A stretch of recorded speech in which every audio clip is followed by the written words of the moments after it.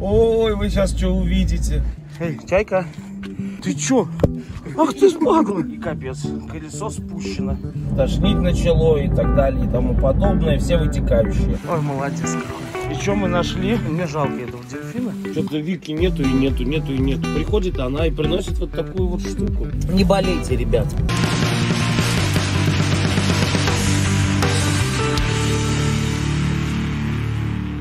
Очередная вылазка в Ялту из Фароса. Я вообще поехал за посылкой в СДЭК. Плюс э, Фароса в том, что город сам спокойный, э, недорогой, то есть там недорого можно и арендовать что-то, и поселиться и так далее. При этом э, также недорого можно купить продукты, зайти там в кафе покушать. При этом всем ты на самом деле находишься максимально близко от других городов, которые могли бы быть тебе интересны. То есть там даже Ялта, я не знаю, там Судак, Симферополь, Севастополь. А еще у нас тут случился казус, знаете, оно как бы хоть и путешествие, но, грубо говоря, жизнь в автодоме, она не отличается от жизни, так скажем, в доме. И всякое может произойти.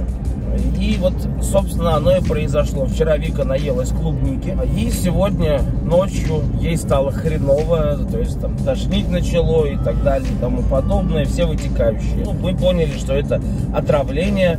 А, я уже, естественно, съездил а, в аптеку, купил таблеточки, э, там всякие эти альмагели и прочую-прочую гадость, которую порекомендовали мне медики. Ну, наконец-то я забрал посылки, доехал я до Ялты, все хорошо, посылочки в целости и сохранности, а теперь буду хвастаться. Итак, первая, ребят, посылка. Мне прислали Бакар Табак. А, у них новая линейка сейчас, причем вот в такой подарочной упаковке, три новых вкуса. В общем, тем более цитрус, апельсиновый шейк с медовой дыней. Короче, то, что я люблю, то, что прям надо. Это первая посылочка, такой кейс подарочный. И вторая посылочка, это игры Габара. В общем, будем играть, э, будем смотреть, будем курить, будем наслаждаться. Ну и, конечно, хочется сказать большое отдельное спасибо Габару за эту игру и за полный пак с яйцом, с вот этим стухлым э, с орехом мега острым. Будем пробовать, будем играть. А если ты хочешь тоже поиграть, то обязательно заказывай в Габар Шопе. Благодарочка Бакар Табак за вкуснейшие табачки для кальяна. Это мой вкуснейший спонсор путешествия. И реально практически каждый вечер мы в путешествии садимся так э, с видом на море, либо еще там на горы, на лес, покуриваем э, очень вкусный Бакар Табак через кальяны Нано Смок. Конечно же, кстати, у Нано Смока сейчас новая линейка кальянов, поэтому обязательно заходите, смотрите, выбирайте табаки, кальяны. Это все очень вкусно и это лучшее сочетание. Нежданно-негаданно, друзья, посетили мы ночную Ялту. Целое приключение произошло. Достаточно прикольный, яркий город. Я думаю, что здесь было бы классно погулять или покататься ночью на машине но, честно говоря, немножечко при других обстоятельствах. Как я уже говорил ранее, Вике стало нехорошо, и когда я вернулся с Ялты, с посылками, в надежде, что думаю, ой, сейчас Вика отошла, я приехал с посылками, думаю, сейчас мы забьем, покурим кальянчику, покайфуем, порадуемся. Но не тут-то было. Вике стало еще хуже, скорую попытались вызвать, скорая нам сказала, что, ребят, лучше приезжайте сами, потому что мы приедем хрен знает когда и вообще приедем ли.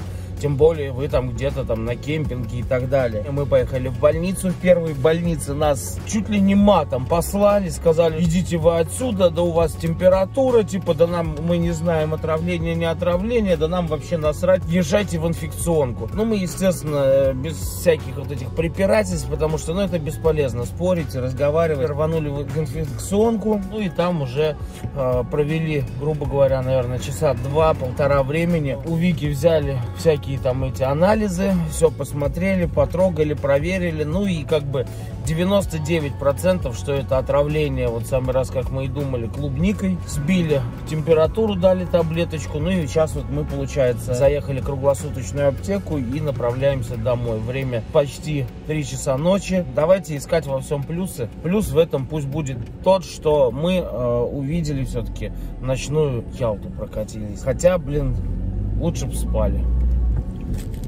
Не болейте, ребят. У автопутешественников, кемперов бывают дни, когда складываются карты и просто э, все люди, все отдыхающие, да, там приезжие, неприезжие, неважно, собираются за общим столом, достают самые вкусные явшества и наслаждаются вечером. Так вот, у нас буквально э, завтра уже отъезд с кемпинга Крым, но сегодня мы решили собраться за общим столом.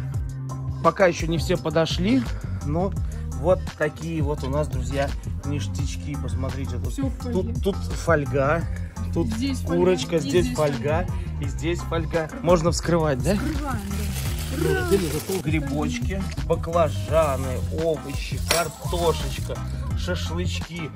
Вот такая вот вкуснятина. И все мы сейчас дружно усядемся за этот прекрасный стол в прекрасной компании. И обязательно подумаем о вас. А вы подумайте о нас и поставьте лайкосик на это видео. А, сегодня мы пробуем вот такую штуку, называется кулеш. Это каша, очень странная, нам не рассказывают рецепт, но при этом э, все сидят и очень вкусно уплетают. Кто знает, что это такое, вы обязательно напишите, что это такое, потому что если бы мы знали, что это такое, мы бы знали, что это такое. У нас все как всегда. Собрались мы выезжать с кемпинга Крым, собираемся. Внутри уже собрали все, убрали. Уже надо цеплять машину, а я смотрю, и капец, колесо спущено. Ну, конечно, не в ноль, но почти в ноль. То есть, э, значит, где-то какая-то пробоина или еще что-то такое. Сейчас накачаем и будем ехать по пути, смотреть, искать шиномонтажку. Присоединили, подцепили.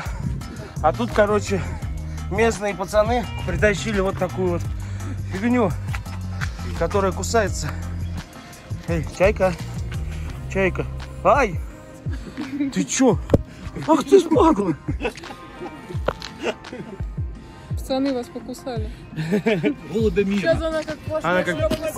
Давай. Главное, чтобы на голову не каснула. Как, как символично. И мы полетели, поехали. В другую сторону. Только да, в другую. Ребят, запомните вот эти вот лица. Вот эти вот лица. Собственно, приезжайте. Очень гостеприимный кемпинг. Еще раз напомню, кемпинг Крым. Здесь все очень красиво. Крутая беседка, крутые домики, крутые номера. Можно вставать с палатками, можно вставать на автодоме. Ну и при этом самое главное, это офигительная, крутейшая атмосфера. А виды заглядишься. Вот, ребят, почему я не советую заезжать в Ялту с автодомом. Мы уже порядка 45 минут толкаемся и проехали буквально меньше километра. Просто, несмотря на то, что мы даже не через сам город едем, а мы объезжаем, грубо говоря, по трассе, по дороге. И здесь адские, просто отчайшие пробки. Двигаемся дальше. Сейчас у нас, скажем так, путь наш проложен до Нового Света. Ну, а там посмотрим, э, куда двигать дальше и все вам расскажем. Ребят, чтобы вы понимали, мы уже почти два часа топчемся в пробке и проехали буквально вообще ничего не проехали. И судя по навигатору, в Новый Свет сегодня мы приедем глубоко ночью.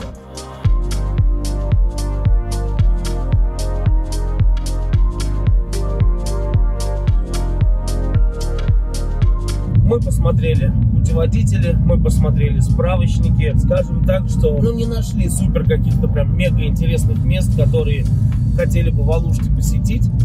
Поэтому Алушту мы проезжаем просто через город. Просто увидим э, со стороны, посмотрим и поедем дальше. Причем со стороны это очень красивый город. В Крыму есть две основные дороги. Это получается сейчас вот эта новая трасса Таврида называется а, по которой можно очень быстро доехать, э, по сути, из одной точки Крыма в другую.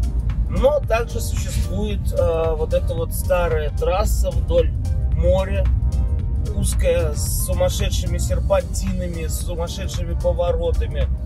Достаточно сложная, я бы сказал, особенно когда ты едешь на Додже с автодомом, потому что ему прям тяжело. Мы выше третьей скорости ни разу еще не включали, то есть в основном еду на второй передаче.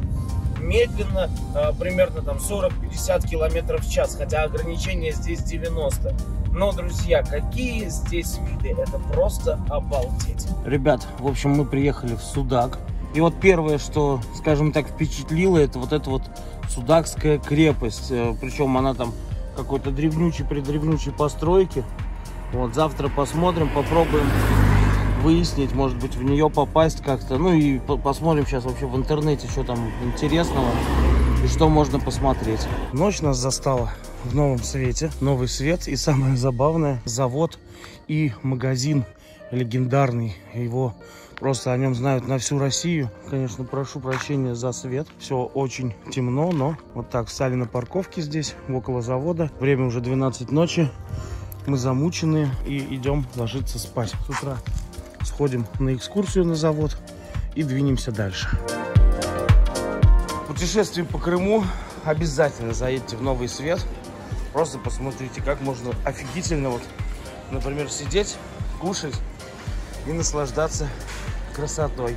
Но, сразу говорю, вот здесь получается на берегу есть столовая. Здесь несъедобно, не рекомендую. Столовая называется Спрут. Очень удивляет, что буквально проехали совсем чуть-чуть, а растительность уже совсем другая. И виды другие и горки покруче. Ну и как обычно, конечно же, стоят люди, предлагающие прогулки на лодках и так далее, и так далее. Фух, побывали мы в погребах фирменного магазина «Новый собачка рыгнула. Новый цвет, шампань, вино. Ну, короче, косяк, у меня села батарейка, поэтому мы не сняли. В целом, прохладненько там, интересная история. Но для вас, скорее всего, знаете, наверное, даже это плюс. Потому что будет смысл заехать сюда в Новый Свет, сходить э, на экскурсию. Это прикольно, это недорого. Я подзарядил телефон, чуть-чуть вернулись после экскурсии. Сейчас э, зайдем в магазин, притарим с собой пару бутылочек шампаня, о котором нам рассказали, что его переворачивают вручную постоянно. В общем, много интересных фактов.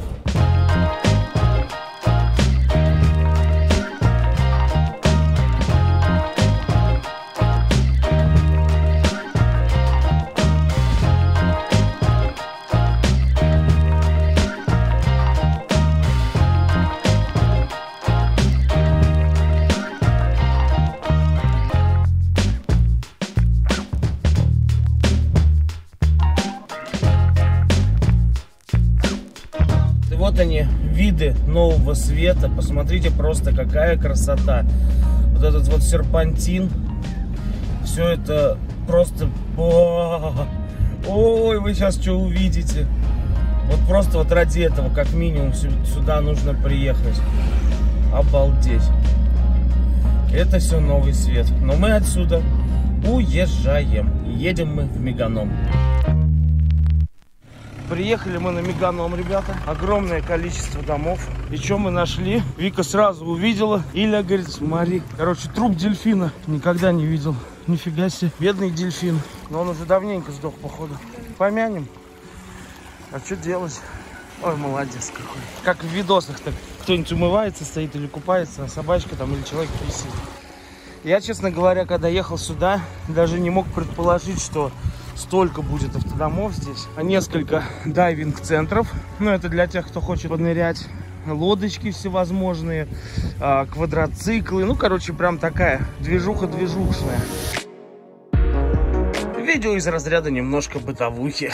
Мы открыли купальный сезон, и наконец-то мы полноценно, впервые за это путешествие мы накупались прям от души, отменно очень классный. Вот сейчас вот в домике с душем тяжко, поэтому мы взяли такую штуковину с Алиэкспресса, короче, 1200 рублей всего лишь стоит. Это типа поливалка и насос через прикуриватель. У нас вот тут вот есть прикуриватели, USB и так далее. Прям на улице после моря помылись. Что я хочу вам рассказать? Хочу объяснить на тему разницы кемпинга платного и кемпинга вот такого вот дикарями. В первую очередь а, платный кемпинг. Ты отдаешь за сам кемпинг денег, но при этом а, у тебя вода, туалет, душ, э, электричество, все удобства, которые тебе нужны. Так как нам не нужны электричество, так как нам не нужен туалет, но душ все равно нужен. Вот. Э, и элементарно здесь э, берут просто какие-то бешеные, сумасшедшие деньги за посещение душа, там что-то порядка 60 рублей в минуту. Вы представляете, 60 рублей за одну минуту в теплом душе. Думайте уже сами, что вам лучше отдать там, грубо говоря, 500 рублей с человека и встать на кемпинге, где ты спокойно спокойно там моешься, намываешься и так далее, либо за все платить. Чтобы здесь набрать воды, э, литр воды стоит, по-моему, 10 рублей. Причем вода не самого лучшего, лучшего качества, то есть вода не питьевая, а вода именно техническая. Вот и думайте, Так вот, ребят, с другой стороны выглядит кемпинг. Вот такая вот красота. Автодома, конечно, здесь на любой вкус и кошелек, как говорится. Каких только нету. И виды просто волшебство. Хотел немножечко рассказать про инфраструктуру. В принципе, здесь все есть. Магазины, кафе, рестораны. Цены обычные. Чуть-чуть дороже. Допустим, 6 литров воды стоит 70 рублей. Вот я вчера покупал. Мы покушали. Вкусно. И, и идем обратно. Вот слушайте, какой звук. Кто это? Как это? Цукаты, цикады, сверчки. Цукаты, наверное. Очень громко прям. Странный момент был. Сижу, сижу, значит, это Вики нету и нету, нету и нету. Приходит она и приносит вот такую вот штуку. Это Кеша. Поймала крабика, рассказывает, ловила она его палочками и назвала его Кешей. Вика добытчик крабов. Краболов.